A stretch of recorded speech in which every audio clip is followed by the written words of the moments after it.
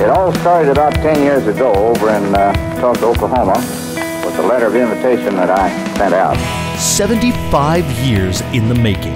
From a chance meeting in Kansas City to a 26 man songfest on a roof in Tulsa, Oklahoma.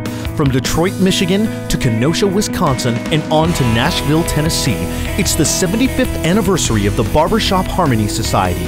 In 2013, the Society will celebrate where we've been and where we're going. There'll be reunions and anniversary nights held on your chapter's anniversary date. Districts will celebrate both the Society's history as well as their own origins at their 2013 conventions. A special 75th anniversary show package will be available for all Society chapters, complete with learning tracks. Barbershoppers across the country will hold simultaneous parties in the month of April. A monumental historical exhibit will be on display at the International Convention, including medals, pictures, historical artifacts, and over 70 world famous costumes, including the Marx Brothers and all of your favorite characters from The Wizard of Oz.